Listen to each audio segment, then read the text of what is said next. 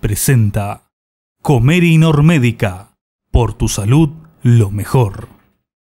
El secretario general de la Federación Uruguaya de la Salud recorre el país y este miércoles estuvo en Artigas. Se reunió con los trabajadores de la salud a nivel local para informarles sobre la actividad sindical para este año. Nosotros estamos recorriendo como habitualmente hacemos todo el país. En este caso venimos de, ayer hicimos Estuvimos en Tacuarembó, en la mañana y en la tarde en Rivera. La semana que viene vamos a estar en Salto, en Paysandú y en, Bella Unión.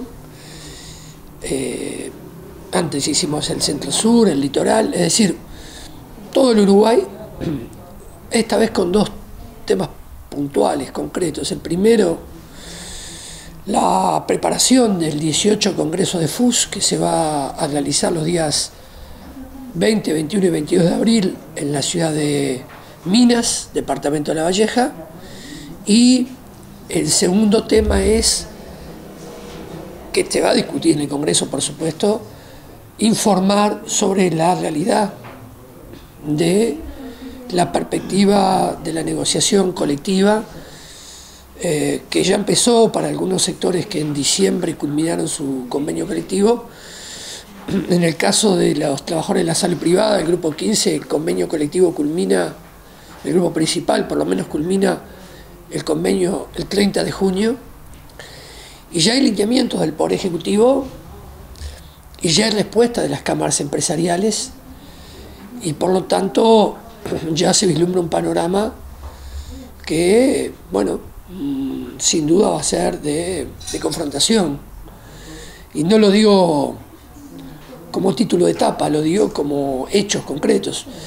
A ver, vamos a una negociación colectiva donde el, Poder Ejecutivo establece la posibilidad de convenios a, a 24 meses o a 30 meses, eh, la posibilidad de establecer, eh, como lo hizo en la negociación del 2015, la calificación de grupos, de tres grupos para la, para rama de actividad, eh, grupos dinámicos, grupos medios y grupos mm, de, sectores con problemas, entre comillas, hay que ver cuáles son esos problemas, eh, y establece eh, bueno, la ubicación de una cláusula de salvaguarda si la inflación supera lo estimado